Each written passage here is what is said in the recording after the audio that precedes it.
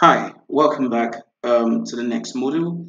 Um, so here we're going to learn the entire area of your WordPress admin, how WordPress works, you know, um, how your dashboard works, the things you need to know, and all of the things you need to understand about your admin area. So where you're seeing now, you see welcome to WordPress, you see we've, we've assembled some links to get you started and all of that. That is called your dashboard, your own dashboard, right? So all of the information that comes on your back end of your website is actually going to be seen here. Then you now have under the dashboard, there's another subcategory called your updates, right? So your updates majorly deals with the things you need to do on your back end. Maybe there's an outdated plugin or the WordPress version is outdated. You're going to see all of that here. So currently you can see that with the theme we're using, there is no update that you need to do. Then the next one is the post, right? The post majorly have three and um, four subcategories. So you have all posts, you have add new, you have categories, and then you have tags, right? Under all posts, that's where you see all the articles that you post, right? Under add new, that's where you add a new article to your website. And under categories, that's where you create different categories where your articles will be will belong, right? And now, what's the essence of a category? The uh, categories are very crucial for a blog site or for any kind of website that will have a blog, right? It makes it very very simple or very easy for audience to access um, different kind of articles in terms of category right or in terms of categories right so that's what you want to do that's what you want to um, kind of understand whenever you want to um, uh, do or work with WordPress. Okay, so and then you now have tags. Just just, just the same way tags are on um, on your what's it called on your social media platforms. Say for for instance, you have an Instagram account or an Instagram page. You know, a tag basically um, focuses on the things that you would want to achieve, right? You want um, um, um like using a pound sign to create something. So you know maybe you have a uh, you use a tag that is digital marketing, for instance. Whoever comes on your website and clicks that tag, that tag would, of course, show every post you know that is related to that particular post under that thread, right? So that's what you want to do. So it's important you maximize, you know, the use of tags, all post categories, new, and every other thing that you want to do. Then the next one is media. Media is where, like the name implies, is where you had all your multimedia content. So your videos, your PDF, your infographic, your picture, you know, this is where you add them. So your library is like your gallery. Whilst if you want to add a new uh, media content, you come to add new and then you do whatever you want to do. Then the next one is pages, right? So what's the difference between a page and a post? A post is temporary or a post is on demand, right? But a page lasts longer the more. So for instance, you know, a page is what you would create for about me.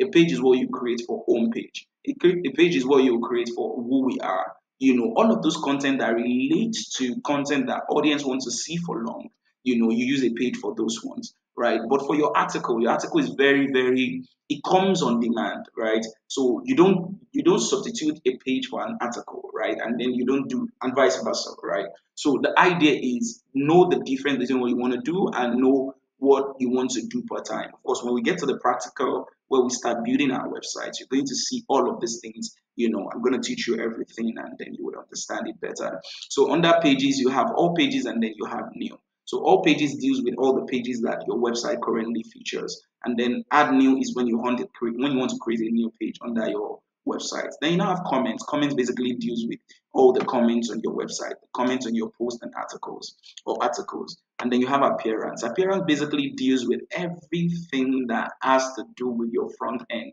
right? So how do you want your website to look like? You know, all of the aesthetics and all of the beauty, you know, that you want on your website, you would see them under appearance, right? So what's the kind of theme you want to use? What's the kind of so customize is a feature that works under your website where you want to customize everything that your website is on. You know, we're going to get into the practical and you're going to see how all of these features and all of these things work, right? So I'm going to teach you everything you need to know without delay, right? So the next one is widgets, right? So widget is majorly you want to add one functionality to your website. You know, maybe on the theme you purchased, there is no there is no calendar there, right? So, you know, maybe what you want to do is you want to add a calendar to your website, right? A widget would help you achieve that without any stress at all. Okay, so that's what you want to do, um, and that's what you want to um, kind of understand. So the next one is menu. The menu control all of the pages and you know how your pages appear on the front end.